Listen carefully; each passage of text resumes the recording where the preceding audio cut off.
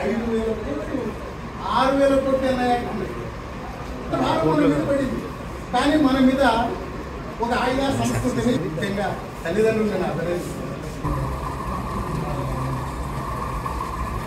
ఆదరించారు ఏమన్నా భాష గారు మీరేముందండి అక్కడ ఏదో జూనియర్ మెహర్బాన్ చూపడము జూనియర్లను సప్రెస్ చేయడము అట్లాంటి రైతులు అందరూ కూడా మీరు అప్రిషియేట్ మీరు కాంప్లికేషన్స్ కంప్లైంట్స్ కూడా ఇక్కడ అనంతపురంలో బాగా మీరు చట్టం పెట్టుకున్నట్టు చేయండి ఇబ్బంది లేదు.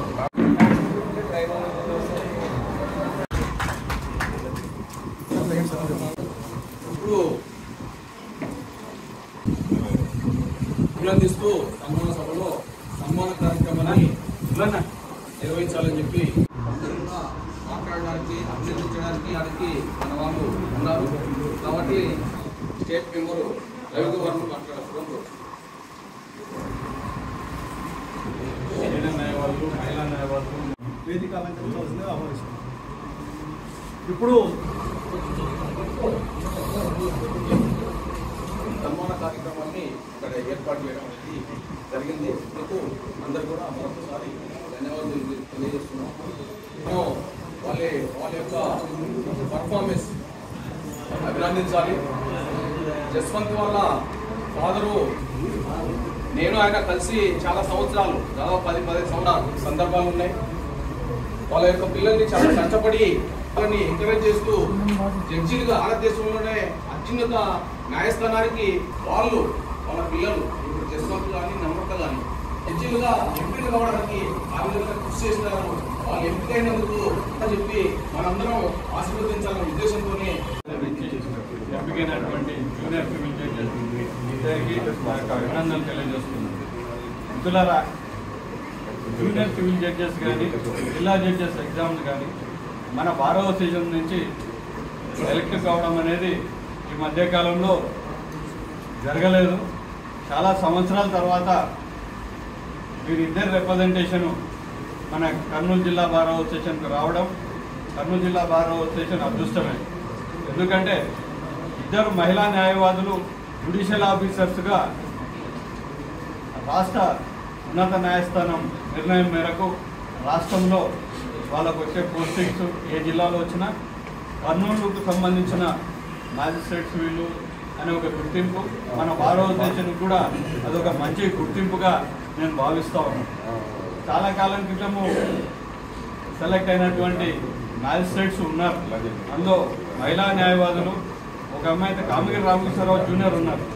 అమ్మాయి సెలెక్ట్ అయిపోయిన తర్వాత కాలక్రమేణా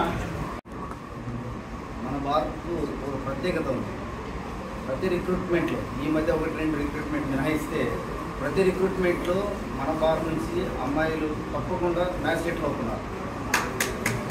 అది వాళ్ళ కృషి. ప్రధానంగా వాళ్ళ తల్లిదండ్రులు వాళ్ళకి ఇచ్చేటువంటి ప్రోత్సాహం మెయిన్. ఆ ప్రోత్సాహాన్ని వాళ్ళు అదనంగా తీసుకొని వాళ్ళు బాగా చదువుతున్నారు. అట్లా చదివి మంచి మ్యాజిస్ట్రేట్లు కావాలన్నటువంటిది మన అందరి కోరిక. అదేవిధంగా వీళ్ళు వీళ్ళు ఇచ్చే జడ్జిమెంట్లు కూడా చాలా కర్నూలు బార్ అసోసియేషన్ నుంచి న్యాయమూర్తులు క్వాలిటీ జడ్జిమెంట్లు ఇస్తారు. సమ సమాజానికి సమాజానికి ఉపయోగపడేటువంటి జడ్జిమెంట్లు ఇస్తారనేటువంటి అనేటువంటి మెసేజ్ వాళ్ళు ఇవ్వాలనేటువంటిది మా ఒపీనియన్ అలాగే ఇక్కడి నుంచి కూడా హరిర్నాథ్ శర్మ సార్ ఉన్నాడు. ఆయన జిల్లా జడ్జిగా సెలెక్ట్ అయినాడు ఇక్కడి నుంచి. ఈరోజు రిజిస్టార్గా ఉన్నాడు. కర్నూలు బార్ అసోసియేషన్కు ఒక పెద్ద మంచి పేరు. మీరందరూ కూడా హైకోర్టు జడ్జీలు అవుతారు. కర్నూలు బార్ అసోసియేషన్కు ఒక మంచి పేరు. కాబట్టి మీరందరూ మంచి క్వాలిటీ జడ్జిమెంట్లు ఇస్తారని చెప్పి మీ అందరి వీళ్ళందరి ఆశీస్సులు మీ మీద ఉంటాయని చెప్పి ఆశిస్తూ ఈ అవకాశం ఇచ్చినటువంటి మీ అందరికీ ధన్యవాదాలు. అదేవిధంగా వాళ్ళు ఇక్కడ నుంచి భవిష్యత్తులో మంచి శిబిరాలను నిర్వహించి ఒక ఉన్నతమైన స్థానంలో ఉండాలని మన భారతదేశం తరఫున భగవంతుని కోరుతున్నాను ఆల్మోస్ట్ కిడ్స్ వీళ్ళు సెలెక్ట్ అయ్యి న్యాయ వ్యవస్థలో ఒక కీలకమైనటువంటి పోస్టులు వచ్చారు నేర్చుకోవాల్సింది చాలా ఉంది. మామూలుగా మా ఒక సీనియర్లుగా మా అభిప్రాయం ఏమంటే ఇట్లా జూనియర్స్ తీసుకుని జడ్జిలుగా పెట్టడం అనేది కరెక్ట్ కార్యక్రమం కనీసం వాళ్ళకు ప్రొసీజర్ అయినా తెలిసి ఉండాలి. మేము చూస్తూ ఉంటాం ఏమవుతుంటాము కంటెస్ట్ మ్యాటర్లో చెప్తాము కొత్త వచ్చి కూర్చుంటారు. వాళ్ళ ట్రైనింగ్ కూడా ఏమైనా బెంచ్లో కూర్చోబెడతారు. మేము చెప్పేది వాళ్ళకి అర్థం కాదు. వాళ్ళు ఏం రాస్తారో వాళ్ళకి పోనీ వాళ్ళు ఇప్పుడు ఉన్నటువంటి ఇప్పుడు యంగర్ జనరేషన్ అంటే మీరు అట్లా కావద్దని చెప్తున్నారు. యంగర్ జనరేషన్ మీరు ఎవరికి కూడా పుట్టినప్పుడు ఎవరికి తెలియదు లేదు. అడ్వకేట్స్గా చదువుకునే వరకు రాలేదు ఎవరు. జడ్జీలు అయ్యే వరకు మీకు చట్టం ఎవరికి ఇంప్లిమెంట్ చేయాలని తెలియదు. కానీ తీసుకోవడం అనేది చాలా ముఖ్యం. ప్రతి విషయాన్ని కూడా క్షుణ్ణంగా చదవడం అనేది మీకు చాలా ముఖ్యం. ఏదో వచ్చింది కదా ఉద్యోగం ఏదో మనం ఎంఆర్ఓ ఆఫీస్లో లేకపోతే జాయింట్ కలెక్టర్ లేకపోతే కలెక్టర్ నాకు పోస్ట్ అయినా మిగతా పోస్టులాగా ఈ పోస్టులు మనం చేయలేదు. ప్రతిదీ కూడా ఆయన అప్లై చేయాలి. సొంతంగా ఉన్నటువంటి క్యారెక్టర్ క్రియేటివిటీ డెవలప్ చేసుకోవాలి. ఉన్నటువంటి చట్టాలు చదువుకోవాలి. కరెక్ట్గా ఎట్లా ఇంప్లిమెంట్ చేయాలి ఏం చేస్తే ఇది అవుతుంది అనేది చూసుకోవాలి.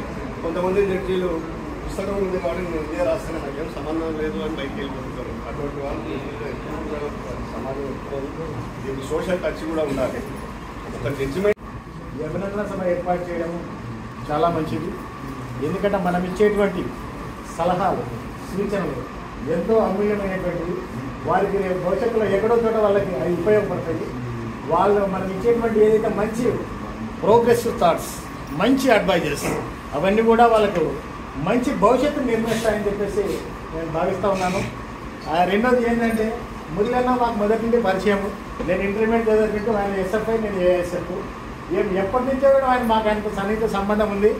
మరి ఈరోజు అమ్మాయి మ్యాజిస్ట్రేట్గా సెలెక్ట్ అయినటువంటి అన్నగారి క్రమశిక్షణ అమ్మ అన్నగారి డిసిప్లైన్ పెంచినటువంటి విధానం ఎంతో ఉపయోగపడిందని నేను భావిస్తూ ఉన్నాను.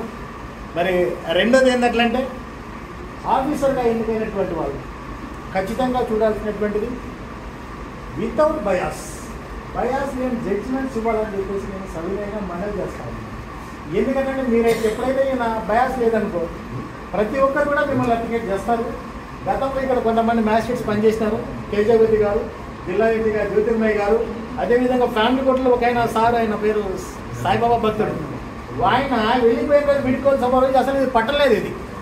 ఈ హాల్ పట్టల బయట అడ్వకేట్స్ అంత అంత క్రౌడ్ అయిపోయింది. అంటే అటువంటి ఒక చిన్న మాట చెప్తే చాలు. దాని మీద ఆయన లాగేసి మొత్తం అంత జడ్జిమెంట్ చెప్పేటట్టు ఇందాక మన సార్ చెప్పిన మీరేం ఏం అంటే కాపీ. జడ్జి పోస్టింగ్ తీసుకున్నట్టే మన సహోదరి మన ఇద్దరు కూడా అడ్వకేట్గా ప్రాక్టీస్ చేసి అడ్వకేట్లో ఉన్నటువంటి ఒడదుడుకులు వాళ్ళు రియల్ లైఫ్లో ఫేస్ చేసిన ప్రాబ్లమ్స్ అన్నీ కూడా వాళ్ళకి ఐడియా ఉంటాయి. కనుక వాళ్ళు ఏ ప్రాబ్లం ఫేస్ చేశారో ఆ ప్రాబ్లమ్స్ జ్యూడిషియల్ ఆఫీస్ అయిన తర్వాత కూడా అది గ్రహించి వీలైనంత వీలైతే క్వాలిటీ జడ్జిమెంట్ ఇస్తూ జస్ట్ లెట్ గోపైపు గో బై బుక్ చట్టం ఏమో ఆ చట్టాన్ని మాత్రమే ఫాలో బెస్ట్ ఉంటుంది జడ్జికి స్పెషల్ అడ్వాంటేజ్ ఏముంది కదా వాళ్ళు ఎక్కువ చదవాల్సిన అవసరం లేదు. డిఫరెంట్ ప్లేటివ్ కౌన్సిల్ ఆయన తర్వాత ఆయన స్ట్రాటజీ ఇస్తాడు. డిఫరెంట్ కౌన్సిల్ ఆయన స్ట్రాటజీ ఇస్తాడు. అప్పుడు ఉన్నట్టు ఆ కేసులో ఏ చట్టము ఏం అప్లికబుల్ ఉంది ఏ డెసిషన్ అప్లై అవుతుంది దాన్ని ప్రాపర్గా అనలైజ్ చేసి అప్లై చేసి ఆర్డర్ ఇస్తే రీజన్ ఆర్డర్ ఇస్తే చాలా బాగుంటుంది. అప్పీల పేరు కూడా అది రీజన్ ఆర్డర్ అఫెండ్ అవుతాయి. తర్వాత మా మిత్రుడు చెప్పినట్టు చంద్ర చంద్ర చంద్రుగాడు. జూనియర్ సీనియర్లు తర్వాత పేర్లు కులము మతము తర్వాత ఒక అఫెక్షన్ అది లేకుండా అతీతంగా జడ్జిమెంట్ చాలా బాగుంటుంది. జడ్జెస్ అంటే the nothing but they are the delegates of God. వాళ్ళ దైవదూతులు ఎప్పుడు చెప్పాలంటే కన్నా. ఎందుకంటే పనిష్మెంట్ ఇచ్చే పవర్ ఉత్త జడ్జెస్ మాత్రం ఉంది కానీ ఇవ్వట్లేదు నువ్వు నేను కొట్టి జైలుపోతాం కనుక వాళ్ళు ప్రతి చేసే పనిలో కూడా ఆయన సోషల్గా మారల్గా డివైన్లో ఆలోచన చేసి ఇది న్యాయసమ్మతమా చట్టబద్ధంగా ఉంది లేదా అది చూసుకొని ఇస్తే బాగుంటుంది. రాబోయే కూడా మన ఇద్దరు సోదరులు మంచి జడ్జిమెంట్ ఇచ్చేసి మంచి పేరు తెచ్చుకొని అక్కడ ఆఫీసు మన్నికలు పొంది హైకోర్టు వరకు ఎదగాలని మనసా వాచ కోరుకుంటాను అప్పటి నుండి కదా ఆమె పుట్టినప్పటి నుండి నాకు తెలిసిన అమ్మాయి. ఒక రకంగా అత్త అని పిలుస్తుంది. నా మేనకోడలాగే ఈ బార్లో అంటే బార్కి వచ్చిన తర్వాత కదా అంతకుముందు కూడా చిన్నప్పటి నుండి మురళి అన్న ఎస్ఎఫ్ఐలో పనిచేయడం అట్లాగే తర్వాత పార్టీలో పనిచేయడంతో మేము మమ్మల్ని ఉద్యమాల్లో లాక్కొచ్చినాడు. ఉద్యమాల్లోకి వచ్చిన తర్వాత మేము వాళ్ళంట పడ్డాము.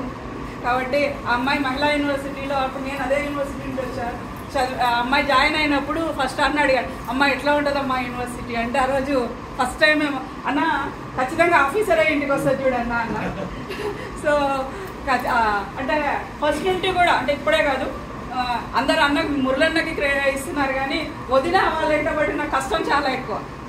స్కూల్ టీచర్గా వర్క్ చేస్తూ ఇంటికి వచ్చి పిల్లలని చూసుకుంటూ అన్న ఎందుకంటే అన్న సోషల్ యాక్టివిస్ట్ ఎప్పుడు కూడా సమాజం కోసము దానికోసము ఎక్కువ ఇది ఉంటే వదిన పిల్లల కేర్ ఎంత తీసుకుంది అన్నది మేము బాగా చూసాము. సో ఆ అమ్మాయికి వచ్చిన మురళన్న కంటే ఎక్కువ ఆనందం మాకు ఎందుకంటే మా అమ్మాయి లాగా కాబట్టి. ఫస్ట్ ఫోన్ చేసి కంగ్రాచులేషన్ మేడం అంటే అత్త ఏంటత్త అని అమ్మాయి. అంటే ఆఫీసర్స్ అయినా కూడా పిల్లల అఫెక్షన్ అట్లే ఉంటుంది కాబట్టి మీరు మా కర్నూలు బార్ అసోసియేషన్ ముద్దుబిడ్డలనుకుంటాం మేము ఇద్దరం. మీరు ఎక్కడికి పోయినా చాలా మంది వేరే ఆఫీసర్స్గా పోయిన వాళ్ళందరూ కూడా కర్నూలు బార్ అంటే ఒక మంచి ఇదిగా మంచి వ్యక్తులు వస్తుంది మంచి ఆఫీసర్స్ వస్తున్నారన్న పేరు ఉంది సో మీ కుటుంబాలు ఇద్దరు కుటుంబాలు కూడా గమనించినట్లయితే ఉద్యమ కుటుంబాల నుండి వచ్చారు కాబట్టి మీరు సామాజిక బాధ్యత ఎక్కువతో ఉంటారని చెప్పేసి ఆ బాధ్యత మీరు నిర్వహించు మంచి పొజిషన్లో హై- ఒక మంచి పొజిషన్లో రిటైర్డ్ అయిపోదాకా ప్రజల కోసం పనిచేస్తారని ఆశిస్తూ అభినందిస్తున్నాను. మన కర్నూలు బార్ అసోసియేషన్ ప్రెసిడెంట్ సెక్రటరీకి తర్వాత స్టేట్ బార్ కౌన్సిల్ మెంబర్ రఘువీరన్నకి సీనియర్ న్యాయవాళ్ళకి ప్లస్ నాతోటి న్యాయవాళ్ళకి అందరికీ కృతజ్ఞతలు.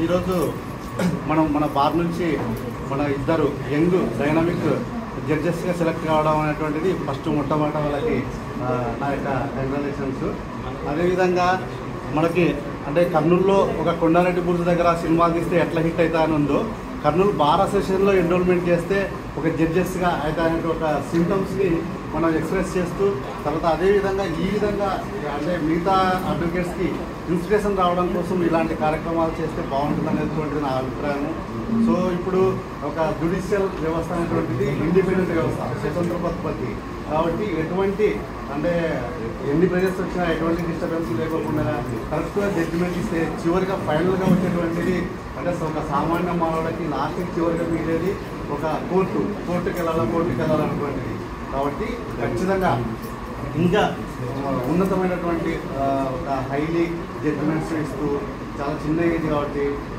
అంటే మోస్ట్లీ అవకాశం ఉంటే సో సీజే వర్క్స్ కూడా వెళ్ళొచ్చు. సో అందుకు వన్స్ అగైన్ నా తరఫున విశ్వసిస్తున్నాను థ్యాంక్ యూ అదేవిధంగా పెద్దలు రామకృష్ణ గారు గారికి అదేవిధంగా సెక్రటరీ చక్రపాణి గారికి అదేవిధంగా ఐదు రాష్ట్ర అధ్యక్షులు కుమార్ గారికి జిల్లా అధ్యక్షుడు ప్రధాన కార్యదర్శి గారు నా మిత్రులు వెంకటస్వామి లక్ష్మణ్ అదేవిధంగా రవికుమార్ గారికి సీనియర్ న్యాయవాదులకు జూనియర్ న్యాయవాదులకు మహిళా న్యాయవాదులకు ముఖ్యంగా ఈరోజు ఈ వేదికను అలంకరించి సన్మాన గ్రహీతులైన ఇద్దరు కాబోయే న్యాయమూర్తులకు త్వరలో మెంచి బాగా అవలంచిపోతున్న న్యాయమూర్తులకు కూడా ప్రత్యేక ధన్యవాదాలు నేను రిజల్ట్ వచ్చిన తర్వాత కొద్దిగా యాంగ్జైటీగా ఆ తర్వాత కోర్టుకు వచ్చాను. అసలు నా బిడ్డ మా పాప సెలెక్ట్ అని నా ఆనందం కంటే మన భారతదేశం వాళ్ళ ఆనందం ఎక్కువైంది. అసలు నేను ఎంత ఫీల్ అంటే మరి నా బిడ్డవే ఇంతమందికి ప్రేమ ఉందా? ఎంత యాంజల్ ఫీల్ అంటే ఎవరు చూడరు. మన పాపలు ఇద్దరు. అమ్మాయి కూడా అమ్మాయి అంటే కొద్దిగా బార్లో కొంత తక్కువ వచ్చింది. అయినా కూడా మన భారతదేశం నుంచి ఇద్దరు వచ్చినారా? మన పిల్లలు వచ్చినారా? ఇంత నేను ఒక త్రీ ఫోర్ డేస్ నుంచి చూస్తున్నా. మనకు గర్వకారణం చాలా హ్యాపీగా ఫీల్ అవుతున్నాను వాళ్ళిద్దరు వచ్చినందుకు నా పేరెంట్గా కాదు ఒక బాధ చేసిన మెంబర్గా ఎందుకంటే మన బా మా పేరెంట్స్కు కొంత ఈ కథల వరకు ఉంటుంది. ఏమి? పలానా కూతురు పలానా కూతురు జడ్జిలు అంటాను కానీ ఈ భారతదేశం నుంచి వీళ్ళు ఎక్కడైతే అపాయింట్ అవుతారో అక్కడ ఏమవుతుందంటే ఫస్ట్ అడిగింది మనం మనం ఒక అడ్వకేట్గా మనం పైన చూస్తున్నాం. ఏ బార్ నుంచి వచ్చారు వాళ్ళు? ఎవరి కూతురు ఎవరి కొడుకు అని అడగరు.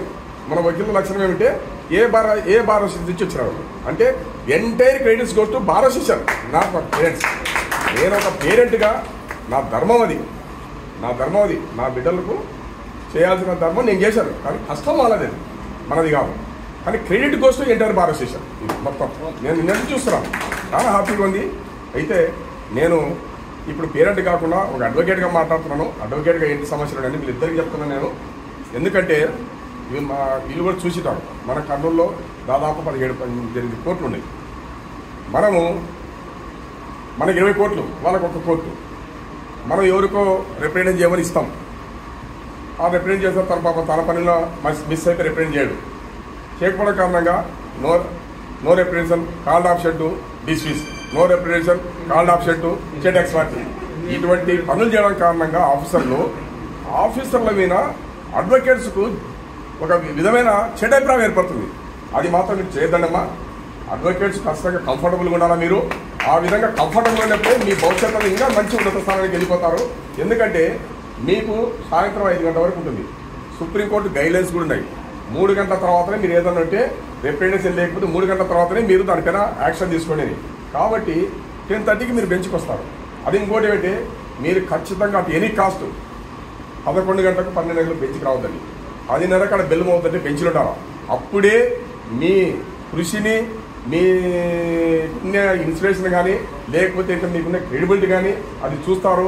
చాలామంది కొంతమంది పదిన్నర కాకుండా పదకొండు గంటలకు పన్నెండు గంటలకు కూడా వస్తుంటారు. నేనంటే జస్ట్ ఫిక్స్ చేయడానికి కాదు. అది కరెక్ట్ కాదు. పదిన్నర కల్లా ఖచ్చితంగా టైం మెయింటైన్ చేయాలా? పదిన్నరకు రావాలా? పదిన్నర తర్వాత కాల్ వర్క్లో పిలిచినప్పుడు పొరపాటున ఎవరైనా రిప్రజెంటేషన్ చేయలేకపోయినా భర్త పే చేయలేకపోయినా లేకపోతే ముద్దాయి రాకపోయినా లేకపోతే ఇంకెవరు రాకపోయినా ఇమ్మీడియట్గా ఆర్డర్స్ పాస్ చేయకుండా you should wait four thirty. Four thirty three thirty వరకు వెయిట్ చేయండి. అప్పుడు మీరు పిలిచండి. అప్పుడు మీ ఆర్డర్స్ పాస్ చేయండి. అప్పుడు మీ ఆర్డర్స్ పాస్ చేసిన నెగిటివ్ వచ్చినా కూడా అప్పుడు ఏమంటున్నాడు అడ్వకేటు? నాది తప్పు జడ్జి తప్పు లేదనుకుంటాడు ఎందుకంటే నేను ఓలేకపోయినా. పదిన్నర కోర్టు దిగినైంది మూడున్నర వరకు ఓలేకపోయినా. బట్ నాది తప్పు కాబట్టి జడ్జి గారు తప్పు లేదనుకుంటాడు. నాకే జరిగింది ఇక్కడ పీడిఎం కోర్టులో. నేను ఎస్ఎస్సి కోర్టులో కేసు చేస్తున్నాను. లోన్ రీకాల్ చేశారు. రీకాల్ ఇప్పుడు లోను టైటిల్ చుట్టూ ఆయన స- మొన్న ప్రమోషన్ వెళ్ళిపోయాను. నేను ఇక్కడ నుంచి పదకొండున్నరకు వెళ్ళిపోతే కదా. పదకొండు గంటలకల్లా కాల్ ఆప్షన్ నో రిప్రజెంటేషన్ నీళ్ళు క్రాస్ అని చెప్పి రాశారు. నాకు చాలా బాధ అనిపించింది. ఆ రోజు కోపం వచ్చింది. చాలా దానికన్నా నాకు చాలా చెడ్డ పేరు కూడా వచ్చింది. గ్రూప్ వచ్చి జడ్జి గారిని అడుగుదాం అనుకున్నా కరెక్ట్ కాదు కానీ మనం అడ్వకేట్స్ జడ్జి గారితో మనం వ్యతిరేక పెట్టుకోవాలి సైలెంట్ అయిపోయించాం అందుకొరకు అట్లా అట్లా చాలా ఇబ్బందులు ఉంటాయి లాయర్లకు. ఆ ఇబ్బందులు మీరు గమనించాలా? మీరు ఎందుకంటే అంత తక్కువ ప్రాక్టీస్ చేశారు కాబట్టి ఆ ఇబ్బందులు మీకు ఇంకా తక్కువ తెచ్చుతాయి ఆ ఇబ్బందులు వకీళ్ళ ఇబ్బందులు మీరు గమనించి మీరు ఖచ్చితంగా వకీళ్ళకు కంఫర్టబుల్గా ఉండాలా? అట్ ది సేమ్ టైము మీ పని మీరు డ్యూటీ చేయాలి. మందికి తెలిసి ఉండొచ్చు కానీ చాలా మంది లాయర్లు నాకు పరిచయం. ఎందుకంటే నా బాల్యం అంతా చలపతిరావు సార్ వాళ్ళ ఇంట్లోనే జరిగింది. ఎదురుగానే నా స్నేహితుడు చలపతిరావు సార్ అబ్బాయి నా స్నేహితుడు పెద్ద అబ్బాయి. చిన్న అబ్బాయి రఘువీర్ అని ఉన్నారు. ఇప్పుడు ఆయ- తను హైకోర్టులో హైయర్ ఎడ్యుకేషన్కి కౌన్సిల్గా ఉన్నాడు స్టాండింగ్ కౌన్సిల్గా నాకు చాలామంది చలపతిరావు సార్ జూనియర్స్ అందరూ నాకు పరిచయం. మధుసూదన్ రెడ్డి సారు సత్యం సారు భాస్కర్ రెడ్డి గారు గౌతమ్ గారి నుంచి ప్రతి ఒక్కరు సార్ ఆఫీస్లో ఉన్న జూనియర్స్ అందరూ నాకు పరిచయము. చాలామంది లాయర్లు నాకు తెలుసు. కోర్టు నాకైతే కొత్త కోర్టు ఎదురుగా ఉండి ఉండి కోర్టు పక్కన క్లబ్లో నా బాల్యం చాలా రోజులు నేను ఇంటర్ డిగ్రీ తర్వాత నేను బిజినెస్ స్టార్ట్ చేసిన తర్వాత కూడా చాలా రోజులు అక్కడ ఉన్నాను. నాకు తెలుసు రవి నైబర్ మా ఇంటి పక్కన రవి చాలా సంతోషపడితే నాకు మిగతా నాకు నేను పరిచయం లేదు చాలా మందికి ఇక్కడ. నాకు చాలా మంది మన ఆ, రవి కుబేర గారు కూడా వాళ్ళ తమ్ముడు రాహుల్ నాకు ఫ్రెండ్ క్లాస్మేట్ వ్యాస్ మా అమ్మాయికి జూనియర్ కాలేజ్లో నాకు సార్ పరిచయం. సార్ నేను గుర్తుపడతాను. సార్ నన్ను గుర్తుపట్టకపోవచ్చు. నేను సార్ని గుర్తుపట్ట చాలా మంది ఉన్నారు ఇక్కడ. నేను గుర్తుపట్టే వాళ్ళు వాళ్ళు నన్ను గుర్తుపట్టారు. నాకు ఎందుకంటే చాలా ఇంట్రెస్ట్ కనుక నేను తెలుసుకుంటాను వ్యక్తుల గురించి. నా కూతురు నేను కూడా అడ్మిషన్ తీసుకొని ఉస్మానియా లా కాలేజీలో నేను కంటిన్యూ చేయకుండా వదిలేశాను. సరే తను ఇంట్రెస్ట్గా తను చదివి తను సాధించింది. జస్వంత్ యాదవ్ కంటే మా అమ్మాయి కొద్దిగా కష్టంగా ఉండొచ్చు. ఎందుకంటే సార్ మురళీమోహన్ సార్ తన గైడెన్స్ ఇవ్వగలుగుతాడు. మీరు కూడా చాలా మంది గైడెన్స్ ఇవ్వగలుగుతారు. తనకు కూడా జశ్వంత్ యాదవ్ ద్వారా వీళ్ళందరూ కూడా పరిచయం అయ్యి తనకి ఏదన్నా అవసరమైతే గైడెన్స్ ఇవ్వస్తారు అని నేను నమ్ముతూ ఈ అవకాశం ఇచ్చిన మీ అందరికీ కృతజ్ఞతలు. మెంబర్స్గా ఉండి మన భారత అసోసియేషన్లో వీళ్ళు ఎన్రోల్మెంట్ అయ్యి మరి ఇప్పుడు వాళ్ళు జూనియర్ సివిల్ జడ్జ్ పోస్టులకు అప్లై చేసి వాళ్ళు కష్టపడి వాళ్ళ పరీక్షలు రాశారు. వాళ్ళు మరి ఈ పోస్టుకు జూనియర్ సివిల్ జడ్జి పోస్టుకు న్యాయమూర్తులుగా వీళ్ళు సెలెక్ట్ అయినారు. కాబట్టి ఇది మన భారత అసోసియేషన్కు చాలా గర్వకారణము. అదేవిధంగా మనము ఇది హర్షించదగిన విషయము. మరి అదేవిధంగా మన సీనియర్ అడ్వకేట్స్ మరి అందరు అడ్వకేట్స్ ఇచ్చిన సలహాలను వీళ్ళు పాటించి ఆ సూచనలను పాటిస్తే మంచిగా వాళ్ళు మంచి తీర్పులను ఇవ్వగలరు. మరి వీళ్ళ దగ్గర మంచి విద్య అభివృద్ధి ఉంది. మరి ఈ విధంగా వీళ్ళకు ఉజ్వల భవిష్య భవిష్యత్తు ఉంది. అదేవిధంగా వీళ్ళ ఏజ్ కూడా చాలా చిన్న age twenty four years twenty four ఇయర్సే కాబట్టి ఈ చిన్న ఏజ్లో ఈ పోస్టుకు న్యాయమూర్తుల పోస్టుకు సెలెక్ట్ కావడము హర్షించదగిన విషయము. అదే